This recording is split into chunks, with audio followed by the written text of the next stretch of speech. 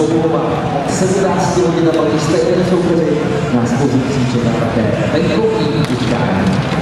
A ještě jednou díky za skvělou podporu, připomínám, výherní tiket hokej